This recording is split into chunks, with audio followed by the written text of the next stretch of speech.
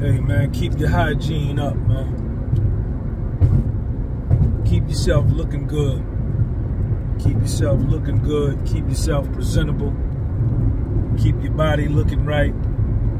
Keep your teeth white and clean. Keep your breath clean. Haircut, shave. Because people judge you for how you look. They gonna judge you for how you look? That's a fact. We all judge. Everybody is prejudiced.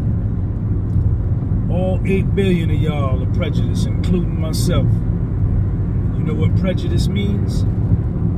It means to prejudge.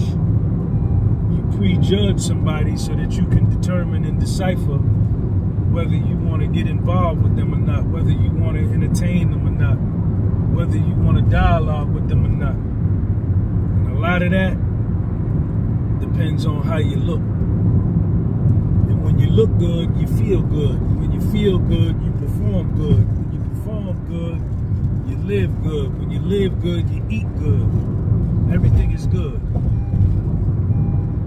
So take care of your hygiene, man. Take care of your hygiene. Keep yourself up.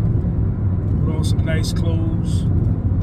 Look presentable. You ain't got to have on no new clothes yourself looking right because you never know when that opportunity may come.